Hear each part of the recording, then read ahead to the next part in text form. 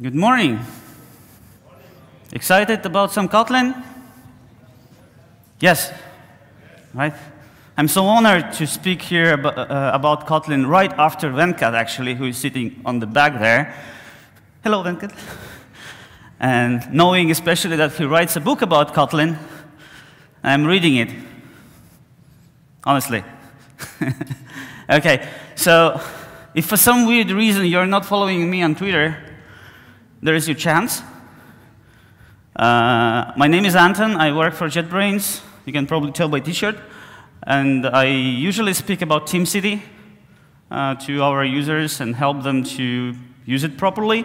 Sometimes I speak about Kotlin, like today. Sometimes I speak about IntelliJ and so on. And uh, yeah, let's talk about Kotlin today. So we are talking not just about Kotlin, but we are uh, talking about DSLs in Kotlin, right? And how many of you actually know what the DSL means? Domain specific language. Have you implemented yourself? Never, right? Who implements DSLs anyway? But this is not something new. It's like there's many, many, many talks about DSLs anyway.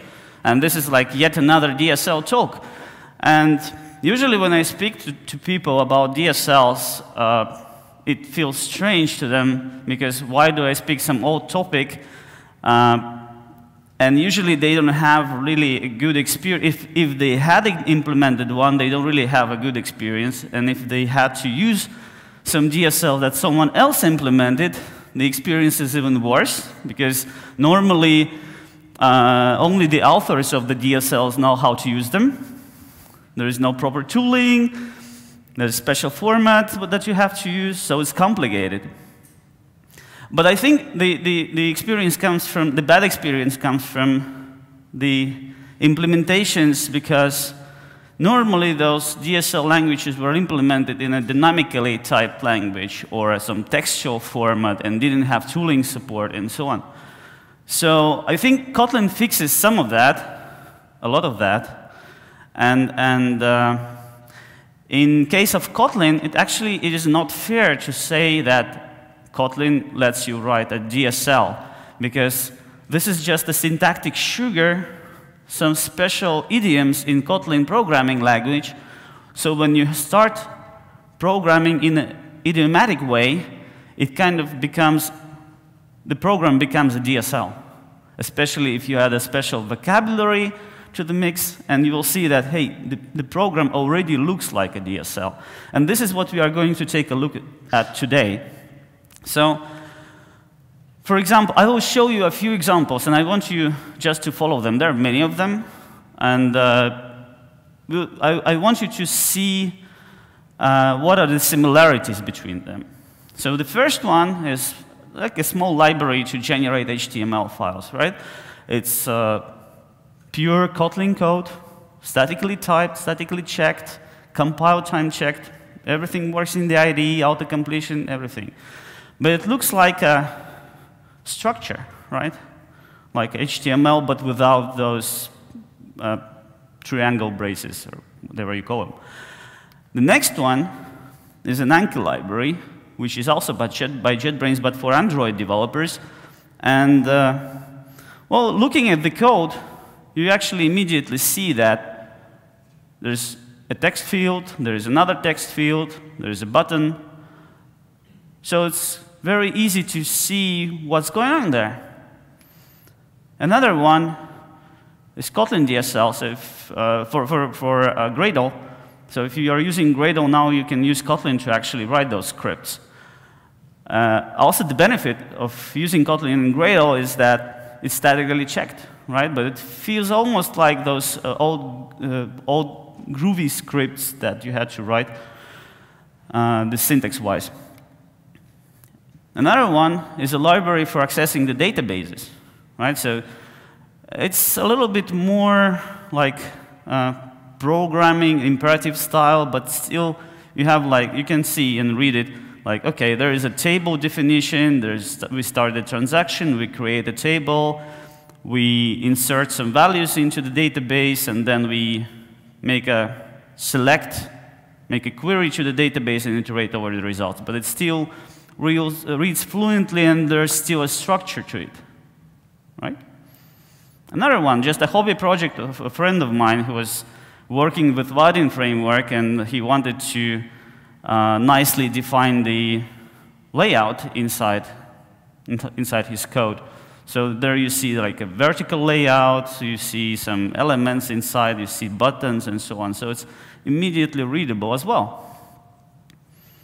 Kotlin DSL for Kubernetes. So instead of writing unchecked or statically non-checked uh, YAML files in textual form, you can write Kotlin code which, well, it will be a little bit more verbose compared to YAML probably, but still it will be checked compile time, which is a great benefit. Another one is uh, Kotlin DSL for TeamCity, the product that I'm working on. Um, there is also a possibility to define build scripts for TeamCity in Kotlin. So like configuration as code, right? And another one, Ktor, which was released this week. Uh, the web framework. So there you see like some Ktor-specific code that kind of uh, instantiates the server, Jetty in here. And then actually what is interesting is that inside the code where we define the routing, in the response we can see the very first example that we had on, in our list, the HTML library, right? So we, are, we can see that uh, two different DSLs are interleaving in, one, in the same code. And that's thanks to the fact that both those DSLs are actually the idiomatic Kotlin code. There is nothing special There is no grammar, that special grammar that the parser has to uh, parse and handle. It's just Kotlin code, and it's just the different vocabulary that we use for those different DSLs, and therefore we can intermix them. Okay, did you watch carefully? What is the similar about all those examples? Come on, speak to me. Don't be shy. It's so simple. They all look similar because it's Kotlin. Sorry? Okay. It's the same language. You can see, like, it, it's hard to make a different DSL, right, in the same language. All right, but uh, what I wanted you to actually notice in the, all those DSLs is that the fact is the fact that how they look like, how the structure looks like. So we normally start with some verb, open a block. Then we add another block inside that block. Then we have some kind of attribute that we assign a value to. Then there might be another attribute that we assign a block to. Right? So we, we can see that it nests all the time. So it's like a nesting structure. And uh, since it's a programming language, some of the syntactic sugar that it has, we can apply in that DSL as well, like some enforcing some of the values. Like in Kotlin, we have named arguments. So it's possible to use this named, named argument to kind of add something to our DSL. And since it's a Kotlin code, we can also invoke functions, create objects, and so on, so because we are creating a structure. And since it's all like valid Kotlin code, it can be checked by the compiler, it works in the IDE, it can be syntax colored, uh, auto-completed, and so on, refactored. And when you see it all working in the IDE, it feels like magic. Wow, nice. So let's, let's write some code and see how we can create a simple DSL ourselves. What are the syntactic uh, sugar elements that we can apply and, and how we can actually create something for ourselves to, to reuse. So the example that I have here is by my colleague. It's not mine. So I have a link to his repository uh, at GitHub. But I think it just explains very nicely how to actually create this kind of things. So this is like the normal Java code, idiomatic Java code, right? There's nothing wrong with it. It's a good code. Everybody can read it, understand it, and understand what it does. The only problem that we might say it has is that you actually have to read through every line and understand what it's doing. So it actually uh, requires some mental effort to go through the code, right? So let's let's do a little transformation here. So we take the code, we go into the Kotlin file in the IDE, and we paste it here. So it's and the ID actually will tell us that, hey, I just pasted some Java snippet in there, and you're pasting it into the Kotlin file, so let me transform it for you a little bit. So let's say yes, make some imports. The code didn't change much, changed a little bit. So the first one, the first change that you will notice is that there is no type on the left. So instead of writing out the type, we have a val keyword. Next, another one is that we don't have to type the new keyword, right? So we just type the constructor. And, and basically that's it after the first transformation. Uh, now, let's, let's execute the code and see how it runs. So it's, it's the initial state. We didn't change anything yet. Compiling. So it printed out something. It printed out a string with the reference to the class. OK. Let's see what is the code that we are working on. So there is like a few classes, a few Java classes. There's like a client, like with getters and setters, a few builders, company, company builder, and so on, right? So there's nothing special. But we are going to make one constraint here, is that we cannot change the Java code. So imagine that those Java classes that I have right now in the project, they came from the library. They are packaged in some jar file, and I have no control over them, right? So I'm using those Java classes as a library So I cannot change them. So the only thing I'm going to change right now is this Kotlin code that I'm writing. OK.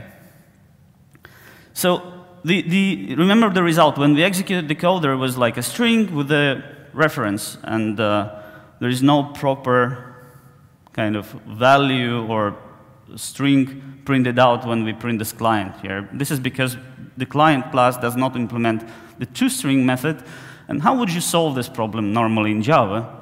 You would write some kind of a client util class with a static method passing the client uh, reference as a parameter and print out those values, right? In Kotlin, we have uh, extension functions, which is basically the same way, but an idiomatic way to implement utility functions, and we are going to write one.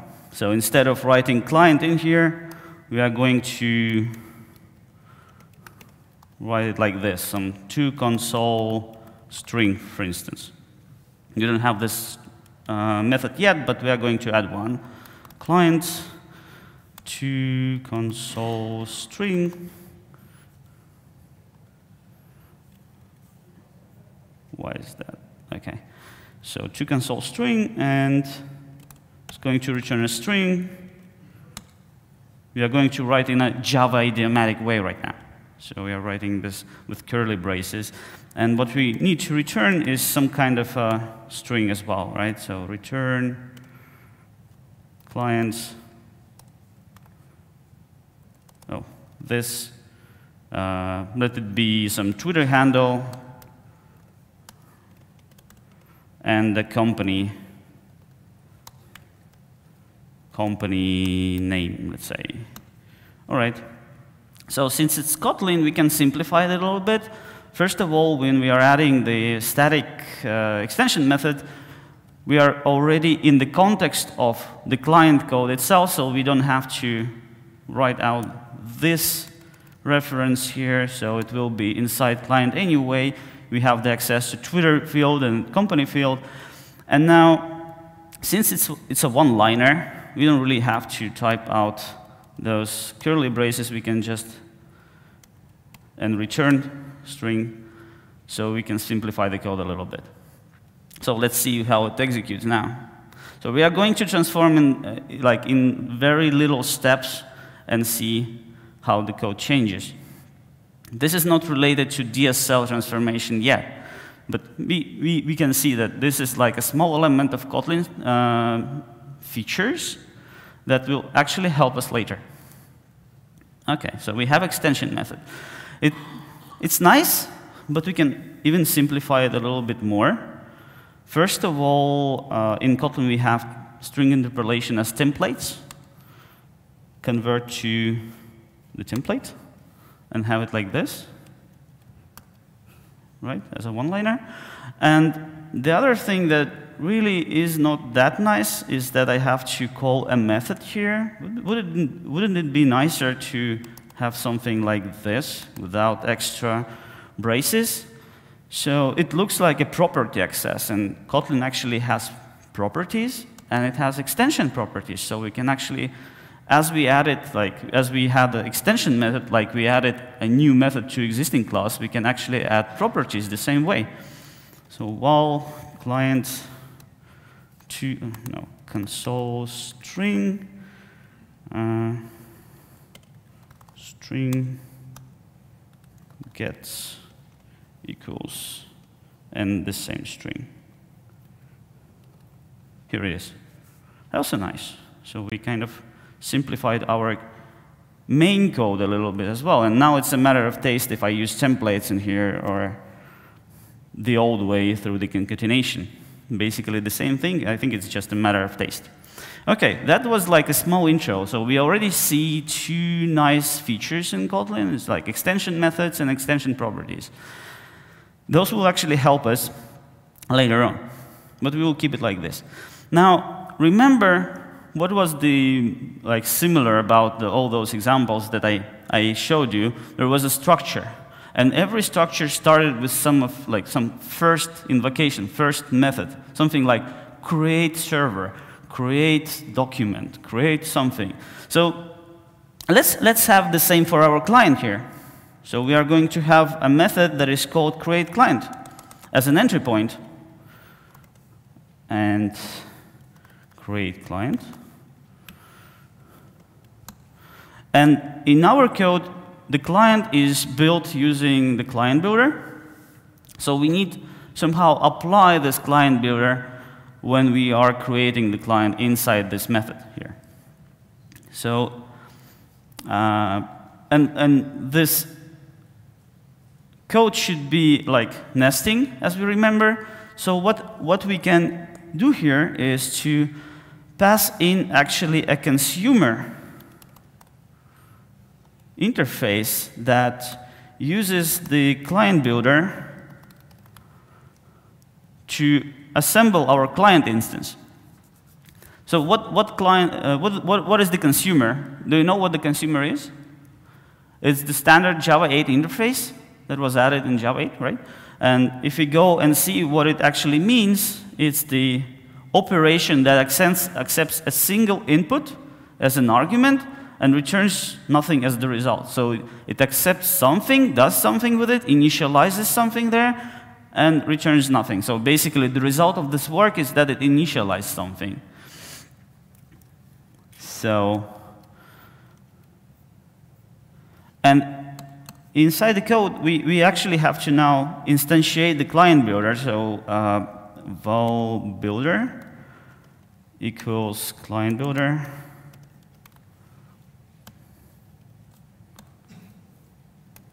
Since we are using this interface, there is like accept method that we're going to pass in the builder into. So inside that accept, uh, uh, uh inside that accept method, we are going to do the real job to instantiate our client using the client builder, and then the result is going to be returned. Return. Re. today I'm typing really bad return builder build. Okay. And we are going to create the client, obviously. So let's start from here. we are going to use that method, create client. And now we actually need to pass in the implementation of that interface, right? That is going to actually instantiate our client. So in Kotlin, or in Java, it's actually Java-like way, but we are writing the code in Kotlin. We are going to uh, implement an anonymous class anonymous implementation of that interface. Object, consumer, uh, client builder, and then we are going to implement the interface. And all the code we already have is written here. So that's, that's the operation inside um, the interface that we actually need to execute. So it's actually a client, and this is actually a builder. So did we make our code simpler right now? Actually not, because this is like, it's not idiomatic way how to write Kotlin code. This is a Java way right now. We are implementing like anonymous class using the interface and so on. But IDEA already tells us that, hey, you, you can actually simplify it. You probably don't see it on the screen, but it actually uh, underlined the first line that, hey, you can actually make it simpler. So I converted to Lambda, and after converting it, it also says to me that, hey, you probably don't need this generic parameter anymore. We still implement the interface, but using the Lambda instead.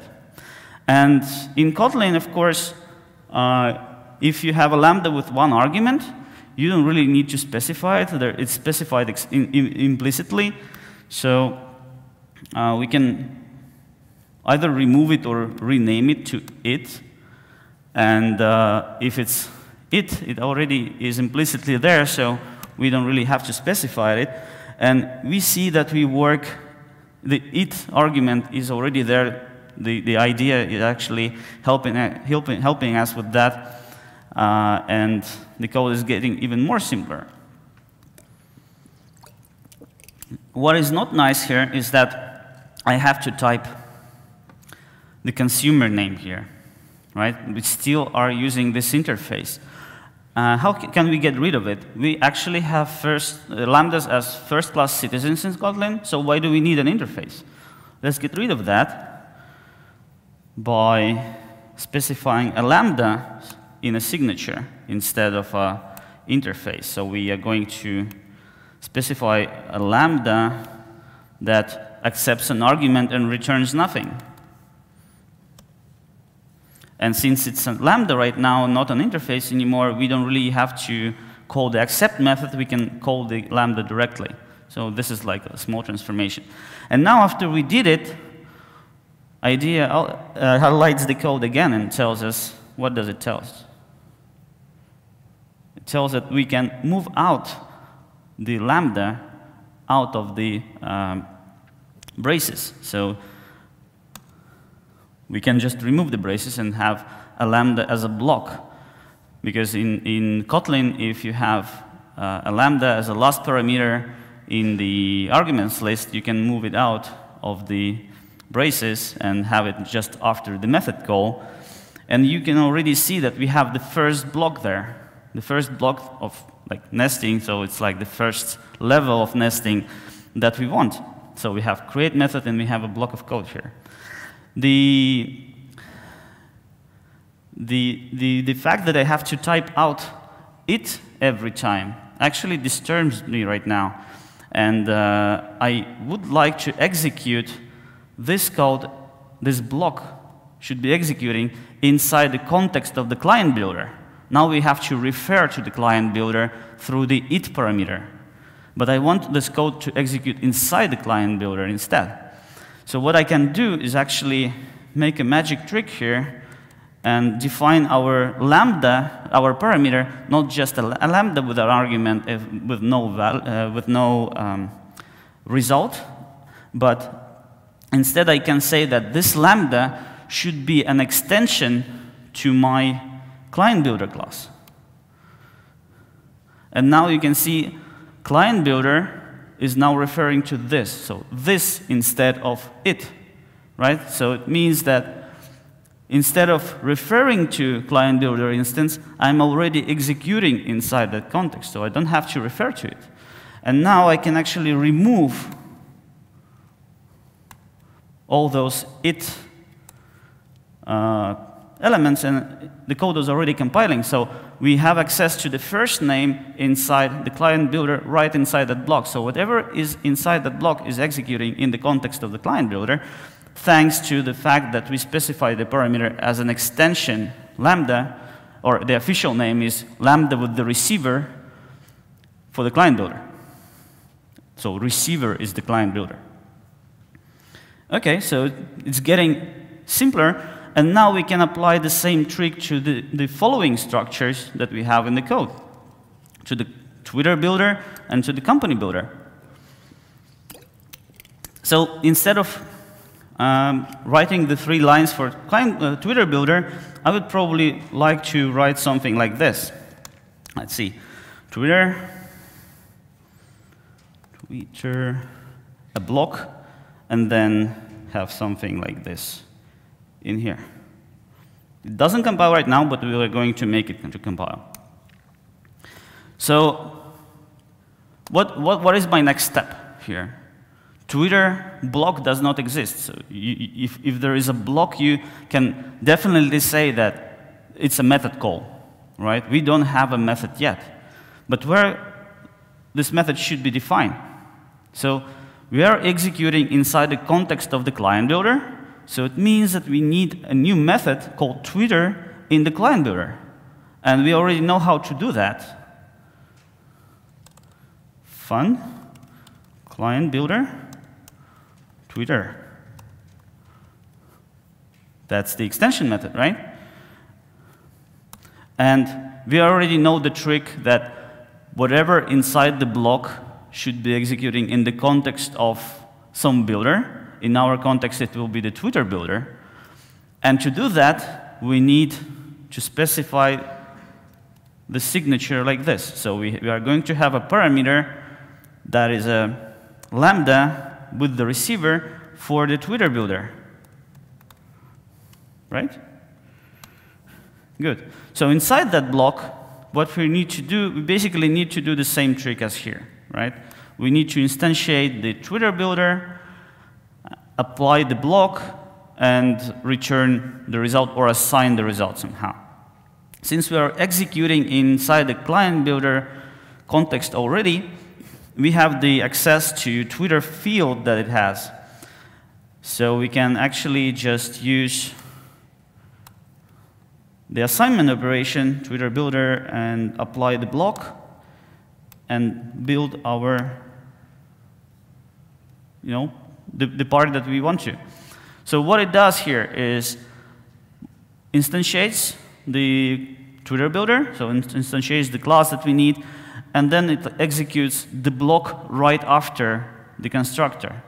Think about it this way. So we just created a class, eh, or created an instance of the class, execute the block in there that actually will be written as a client code, and we build the client. So you can see it already compiles.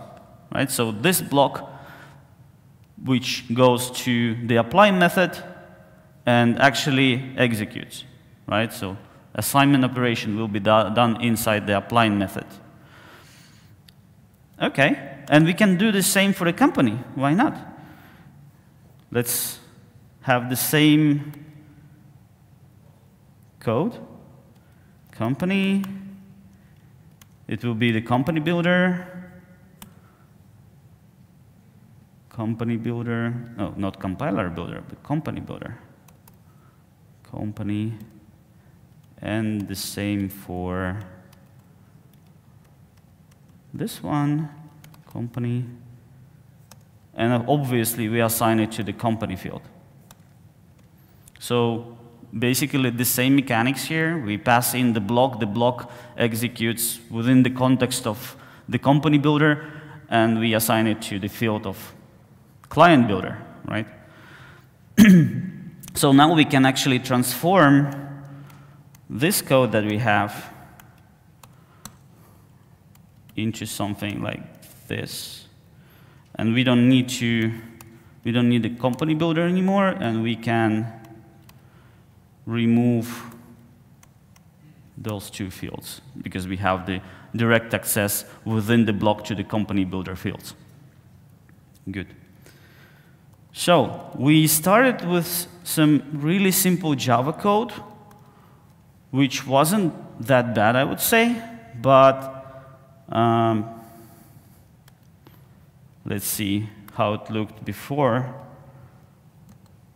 So if you compare two, two of those examples, it's not fair to compare those directly, but the one on the right, you have to actually parse with your eyes and have some, some mental effort to actually understand what it does. A few more seconds, probably a couple more seconds than uh, the code on the left. It's much simpler.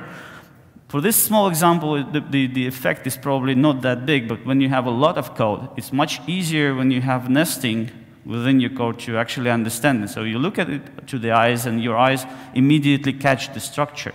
So it's much more readable. And it's still statically typed, compiled type, time checked, everything. Really nice. So, but one, one little issue is here. Com uh, those two methods, right? So imagine if I made a, a little mistake Imagine if I defined this company, uh, company method within the scope of Twitter. The code still compiles, and in, in our case here, it will still be correct even. It will be correctly instantiating the structure, but what if the Twitter builder defined its own uh, company method, for instance?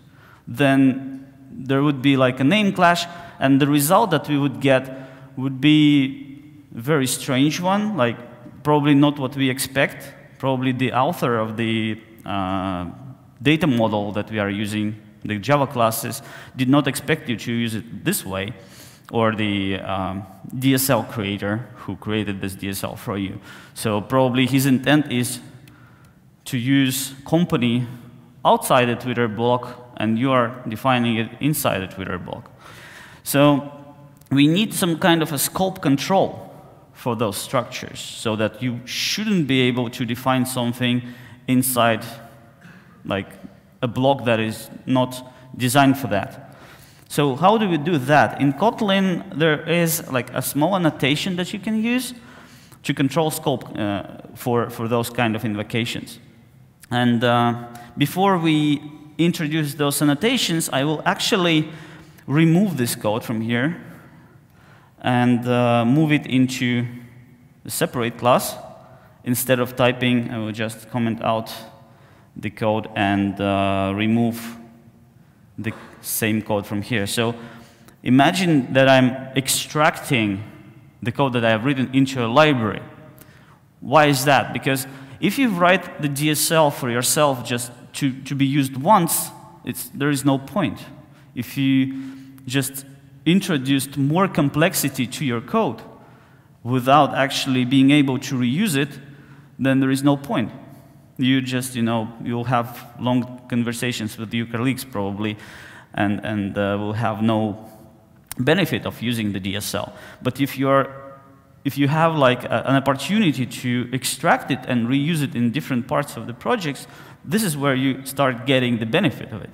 So imagine we are just moving out our code into a library uh, in a separate file.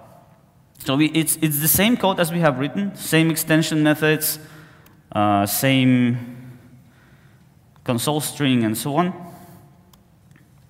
Oops, sorry.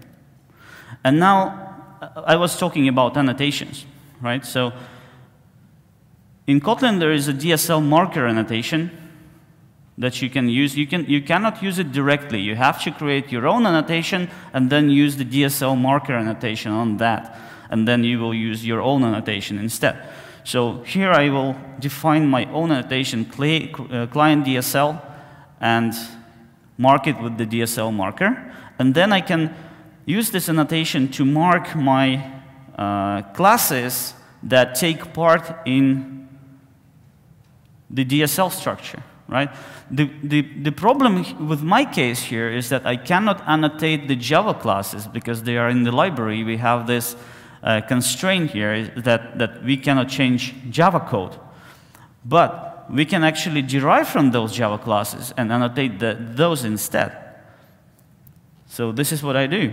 I derive from company builder, from Twitter builder, from client builder, create new classes for my Kotlin DSL, annotate them with my new annotation, the, the marker annotation that will be used to check the scope of my DSL. And now if I go back to my client definition here and move the client, uh, the company block inside Twitter, the compiler will tell me, hey, this is like a wrong use of the DSL. You cannot invoke company in scope of Twitter. And it will kind of add more validation. It will add more security to my DSL for my users, right? So that my users will be able to use my DSL and not blame me for that. Nice, isn't it? So, any questions, by the way? Yes?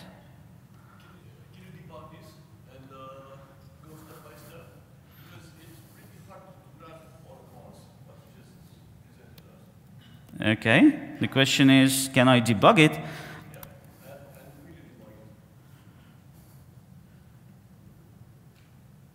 The answer is, yes, you can. The same way. It's the same imperative code. It's normal Kotlin. It's, I have not created any extra grammar. I have created a thin layer of sugar on top of the existing Java classes so that I can idiomatically consume them from my Kotlin code, right? So this is a method invocation, the Twitter, right? I stopped the method. So let, let's let's do like let's do it backwards right now. So what we did here is that we created this create client that takes a lambda, and probably when you see it for the first time, you don't really understand what is going on. But if you just add the braces in here, right? Means that it's a method invocation. We invoke the create client method, and the parameter for this method is this block, right? It's the same for this Twitter block. We add braces. It's the method invocation where we have a block that actually defines a lambda that can be um, cast, let's say it's casting for the Twitter Builder DSL. Same for the company, right? IDEA already tells us, hey, you are using it in not in really the idiomatic way, because Lambda can be written as a last parameter uh, for the invocation outside of the uh, braces, so we can just, you know, move the Lambda out of the braces.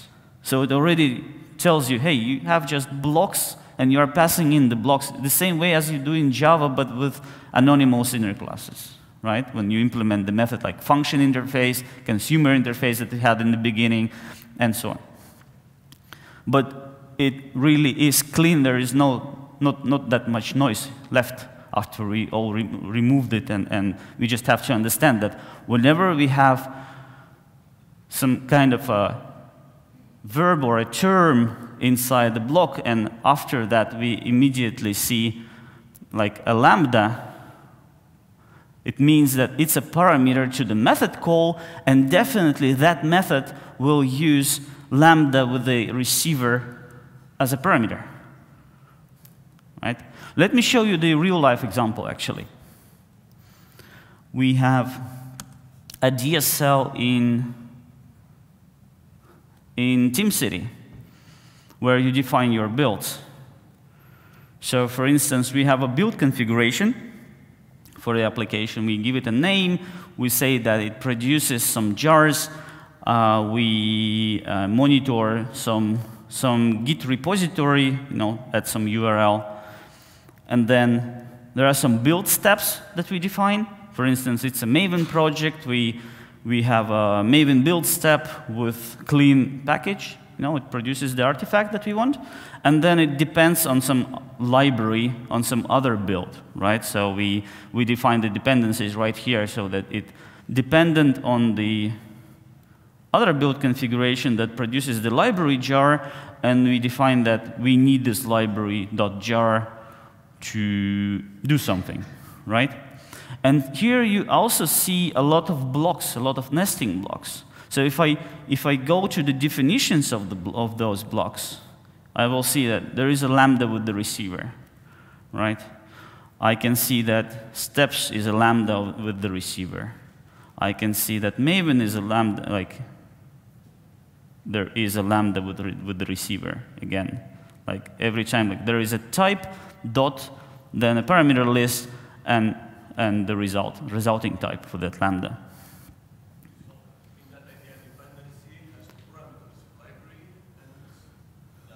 Sorry again?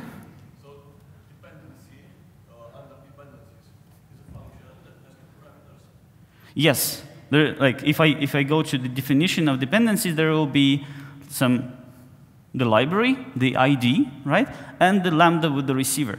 So a good practice is if inside that block, there are some attributes that are um, required, absolutely required. You cannot leave them as null. Then it's a good, good practice to put them as parameters right in here, because then you cannot skip them. You have to define them, like in this method call, right? I, I, I actually have to like specify a parameter, and then inside the block, I can do everything else. I can do some programming, basically. Uh, sometimes people ask why, why wouldn't we restrict uh, everything inside that block besides calling the methods of, of the receiver itself, right? But then you will lose, lose the flexibility. Sometimes you need to be able to call some kind of a method for initialization that is somewhere else, defined somewhere else. Um, and therefore, we just have the scope control that you cannot interleave different blocks that are from the same receiver or from different receivers. Okay. Good. So this is like a, end of the demo. I will have my slides uh, in the internet, but now if you did not remember a thing and it was too complicated, just remember one thing. There's one essential part of building DSLs in Kotlin is the lambda with the receiver. And that's the basic syntax of it, right? We have a type, and we are adding an extension method, which is a lambda, to that existing type, and, and then we can actually uh, easily create those nesting structures within our code that look natively like a DSL, but it actually is a normal statically type, uh, typed Kotlin code. Okay? So if you want to learn more Kotlin, I can suggest a few books. Uh, the first two books, The Kotlin in Action and Atomic Kotlin, are by the colleagues of mine. And uh, programming Kotlin is currently in baking um, by Venkat. And, and there are courses on Kotlin right now on Coursera and Stepik. And then you can actually uh, apply to those courses and use IntelliJ plugin to integrate with them and do all the assignments, and, and uh, it's really fun. So if you have any questions, I probably have a few minutes uh, to answer, and I hope it was fun. Was it? Was it useful for you guys?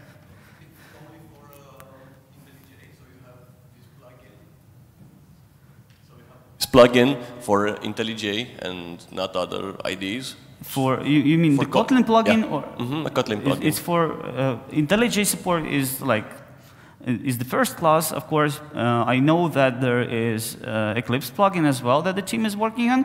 It probably lags behind a little bit.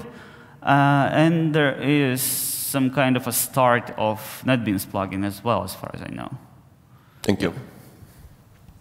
Yeah. Any more questions? Are there any Kotlin programmers in the room? No? Well, I hope it was something new and you learned something, but, well, just remember this guy, right? Nothing, nothing else. Everything else you can you know, read from the documentation and, and learn yourselves as well. Okay, thank you very much. And I think I can stop it right here and you go for a coffee.